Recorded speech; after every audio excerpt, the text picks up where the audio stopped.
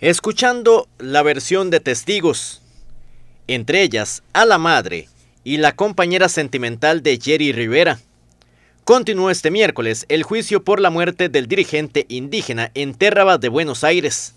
Ya son tres días desde que arrancó el debate sobre estos hechos, que se dieron en febrero de 2020 y que se tramita en los tribunales de San Isidro del General.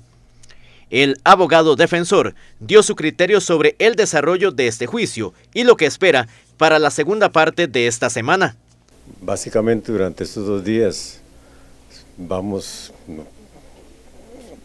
siguiendo básicamente el, hilo conductor que tiene la prueba testimonial. Básicamente hemos estado recibiendo la prueba testimonial del Ministerio Público y el día de hoy se está recibiendo la prueba de la parte querellante y parte del Ministerio Público. Eh, probablemente el día de hoy terminemos con eso y pienso que es probable que a partir de mañana, el viernes y parte del lunes ya recibamos la prueba testimonial de la defensa, en este caso en concreto. La madre de Rivera dio su declaración este miércoles como parte de los 31 testigos que conforman este juicio, que está para terminar a finales de enero. Me parece a mí que el testimonio de una víctima siempre es fundamental. Doña Digna perdió un hijo, eh, no es cosa menor, ya con solo eso creo que, que digo todo. Es sumamente importante escucharla el día de hoy.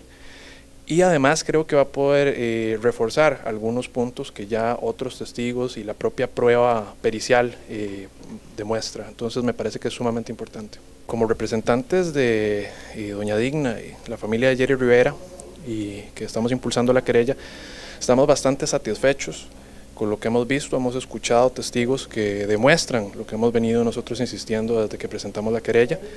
Consideramos que los testimonios eh, de los peritos, de los distintos eh, policías actuantes y ahora eh, de distintas personas de la comunidad Terra han sido sumamente valiosos a efectos de que el tribunal se imponga lo que realmente sucedió el día en que mataron a Jerry Rivera. Este jueves será el cuarto día de este debate.